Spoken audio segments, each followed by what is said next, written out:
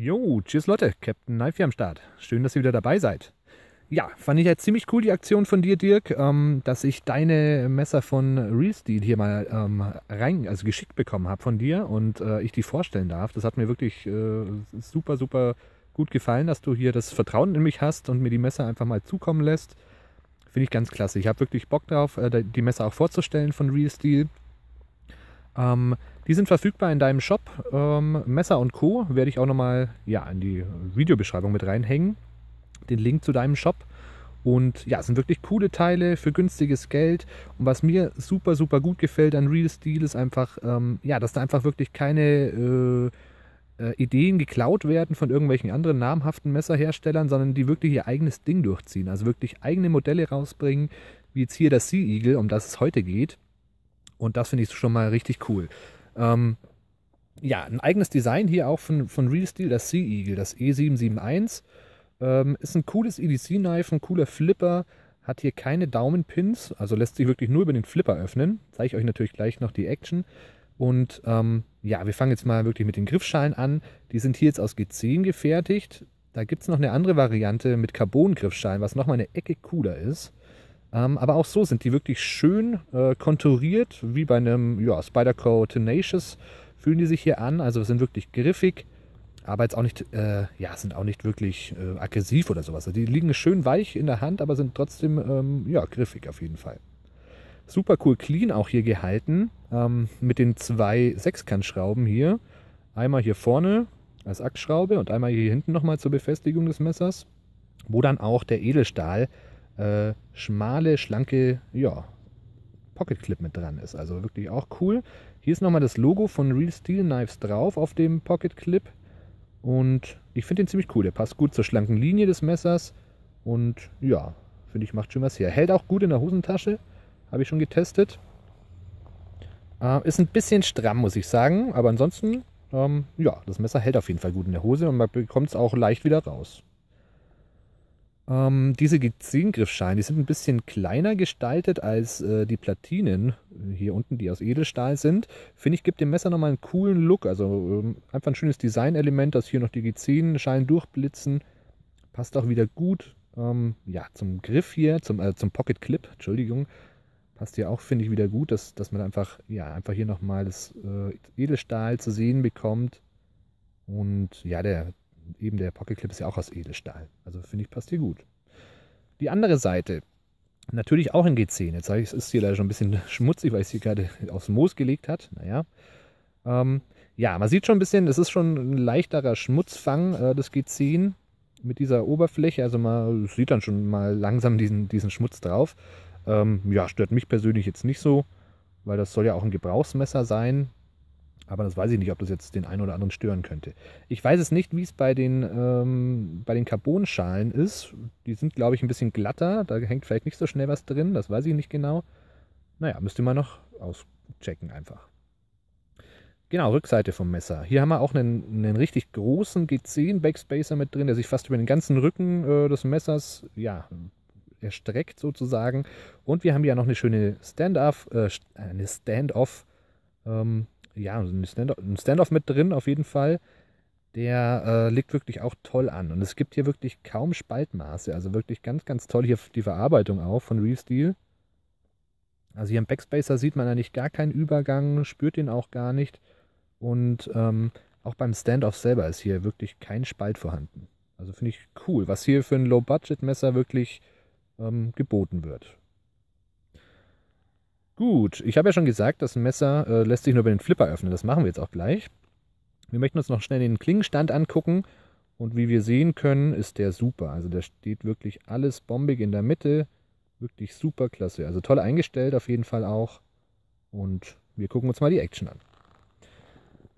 Ja, der Flipper hier oben finde ich gut erreichbar auf jeden Fall mit dem Finger. Der hat hier kein Jimping drauf. Mag ich auch ganz gern. Weil wenn der Flipper gut dimensioniert ist, und äh, eine gute Form hat, dann braucht man das Jimping auch gar nicht. Und es ist einfach freundlicher für unseren Zeigefinger. Und hier sehen wir schon die Action, also wirklich eine, eine super, super smooth Action. Das hat natürlich, ähm, das ist natürlich den, äh, dem Kugellager geschuldet, wo das Messer, wo die Klinge eben drauf läuft. Ähm, Das ist, macht schon einen ganz, ganz, ganz smoothen Klingengang hier. Ich muss mal gucken, ob man sie vielleicht sehen können. Ich weiß nicht, ob mein Zoom soweit mitspielt. Naja, wird schwierig. Auf jeden Fall, hier ist die Klinge auf jeden Fall kugelgelagert. Und dadurch läuft die wirklich butterweich. Also wirklich eine tolle Action hier. Ich muss hier gar keine Kraft drauf geben auf den Flipper. Und auch die Klinge selber, die läuft wirklich super, super gut. Nur ein kleiner Push hier drauf und schon schießt die die Klinge raus. Sehr, sehr cool. Also eine wirklich ganz, ganz grandiose Action für so ein günstiges Messer.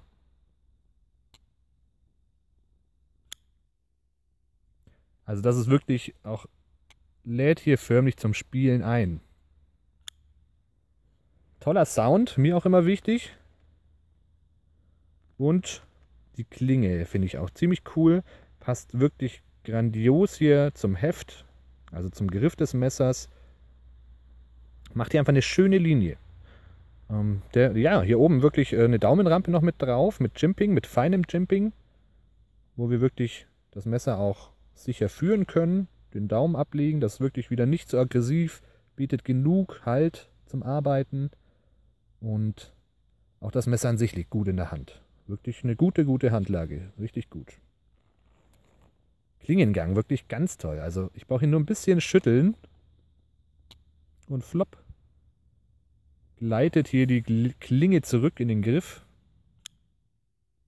So soll es natürlich sein. Aber also ihr müsst hier wirklich beachten, das Messer kostet, ich glaube, neun, äh, neu sind wir bei 69 Euro. Aber ich glaube, ich habe es jetzt auch schon für 59 gesehen. Äh, musst ja einfach nochmal reingucken beim Dirk im Shop. Und für so eine Preisklasse ist das wirklich eine super, super coole Action. Da können sich so manche Custom-Messer was abschneiden von der Action. Cool. Also richtig, richtig spaßiges Messer. Was mir auch noch gut gefällt, klar, die Klinge selber gefällt mir gut. Das ist eine lange, schmale Klinge. Ähm, wir haben einen Flachschliff hier drauf und die kommt auch ordentlich scharf hier an. Also sie ist wirklich richtig schön scharf, die Klinge. Ähm, ist auch ein toller Stahl, der 14C28N ist das. Also wirklich ein, wirklich ein guter Stahl. Auf jeden Fall ähm, besser als ein AOS 8 Stahl, würde ich sagen. Und als ein 18CR, äh, 8CR13 MOV, würde ich mal sagen. Also wirklich ein toller Stahl, was hier ver verwendet wurde. Der Sandvik Stahl, den mag ich sehr gern. Und ja, für den Preis super. Also wirklich auch toll hier der Klingenstand.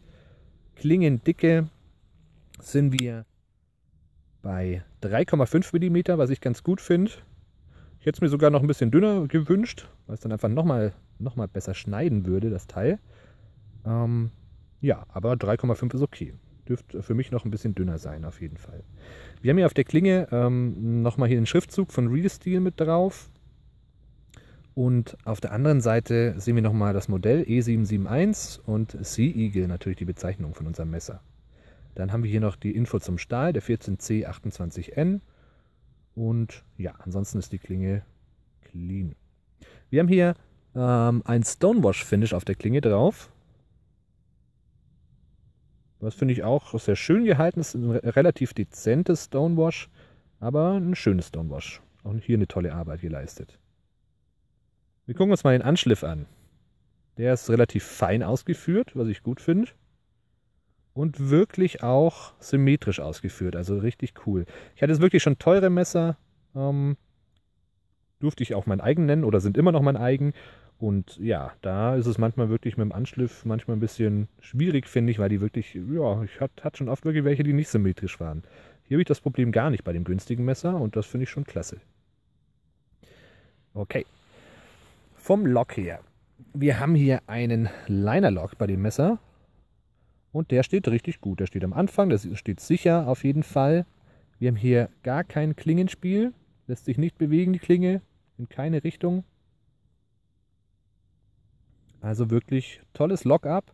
Lässt sich schön entriegeln. Wir haben hier wirklich noch eine, ähm, ja, eine Fläche hier, äh, auch mit Jimpings drauf. Und die fühlt sich angenehm an. Wirklich. Das lässt sich hier leicht entriegeln. Die Chimpings tun ja auch nicht weh, oder das Chimping besser gesagt. Und ja, wirklich easy. Und der Klingengang ist einfach ein Traum. Sehr, sehr cool.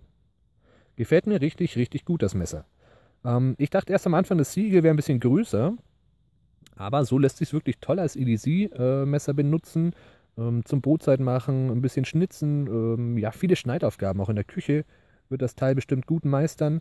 Ich habe es jetzt selber noch nicht so stark getestet, weil ich mir eben noch nicht sicher war. Ähm, ja, weil der Dirk mir die Dreier einfach zugeschickt hat und äh, ich möchte ihn natürlich ähm, jetzt nicht so stark benutzen, da ähm, wahrscheinlich auch wieder welche zurückgehen werden.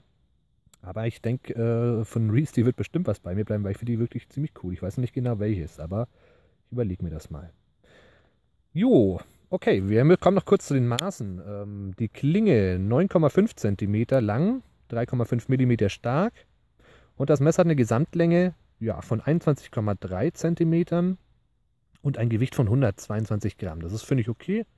Ähm, wir haben hier auch noch, was ich noch nicht gesagt habe, sind hier die Platinen, die Edelstahlplatinen auch nochmal ausgefräst, um Gewicht zu sparen. Das finde ich cool.